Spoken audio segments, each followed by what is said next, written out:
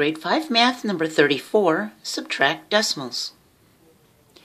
When we subtract decimals, the most important thing to remember is to keep our decimal points lined up, straight, and perfect.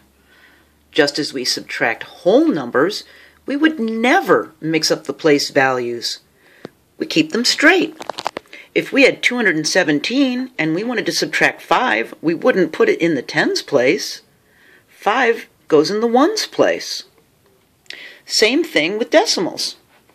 When we subtract decimals, we do it exactly as we subtract whole numbers.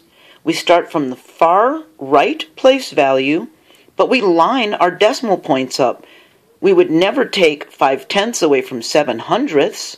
The 5 tenths would have to go into the tenths place. See?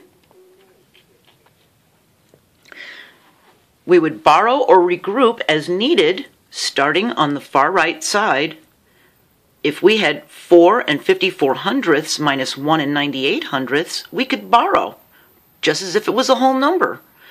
4 take away 8, we can't do it, so we borrowed from the 5, it became a 4, and we gave 1 to the 4, so it became 14. 14 take away 8 is 6. Now that's a 4. 4 take away 9, we can't do it, so we borrowed from the whole number. It became a 3, we gave a 1 to the tenths place, to the 4, and now we have 14 take away 9, which is 5, and 3 take away 1, which is 2.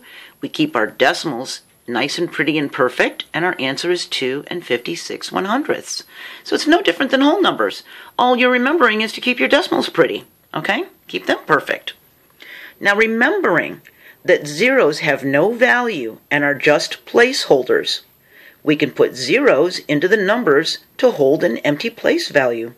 We put them on the right side of the decimal to help.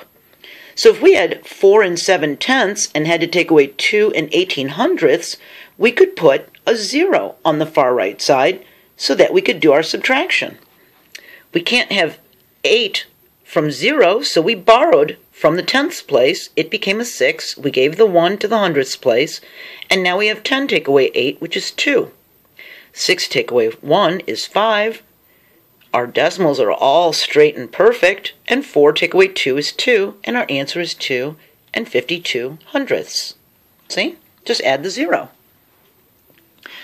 Keeping it straight and perfect, all of our columns will be able to add, will be able to subtract perfectly. See? 5 take away 3 is 2. 4 take away 2 is 2. 2 take away 2 is 0 straight, perfect, pretty decimals. 3 take away 1 is 2. And we've got our answer, 2 and 22 thousandths. If we're missing a 0 from the second number, we can put it in, or we can just ignore it and just drop the 7 down, see? So it doesn't matter if we put it in or not. You can put it in if you want it to help you. 7 take away none is 7. 5 take away 3 is 2. We've got our straight and perfect decimal points so we know we're doing the right place values. And we drop the 4 down and we have 4 and 27 hundredths. So we just added the 0 there when we needed it. If we have just a whole number like 3 and we want to take away 2 and 15 hundredths, we can actually add the decimal point and the zeros. That way we can borrow. We can't have 0 and take 5 away, so we borrowed from the 3. It became a 2. The tenths place became a 9, and we gave a 1 to the hundredths place. 10 take away 5 is 5, 9 take away 1 is 8, and 2 take away 2 is none, so we just have 85 hundredths. See? We actually added the decimal point and the, and the zeros. We can actually solve for n. If it's written in sentence form, we can rewrite it as stacked, and it'll help us solve it. We can add the zero here if we want to, or we could just drop the seven down. It's the same thing. 3 take away 1 is 2. 6 take away 2 is 4. We have our decimals all lined up pretty and perfect. And our answer is 4 and 27 hundredths. n equals 4 and 27 hundredths. If the first number is n, all we have to do is the inverse, don't we? If we're doing subtraction, the inverse is adding.